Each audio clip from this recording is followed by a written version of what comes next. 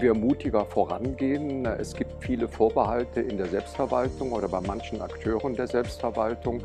Hier denke ich, muss man klare Vorgaben der Politik geben, damit also für die Patienten und Patientinnen deutlich wird, welcher Nutzen durch die Nutzung der Daten für Forschung, aber auch für die Versorgung wichtig ist.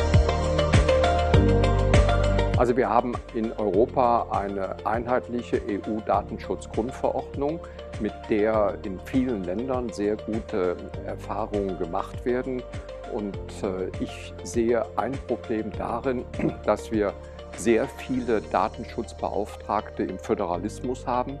Und wir müssen sehen, dass wir beim Datenschutz mit einer Stimme sprechen und nicht äh, mit 20.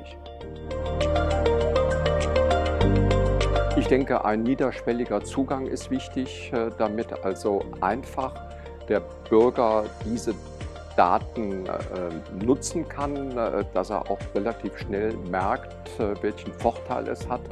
Also wichtig ist insgesamt ein niederschwelliger Einstieg, unkompliziert.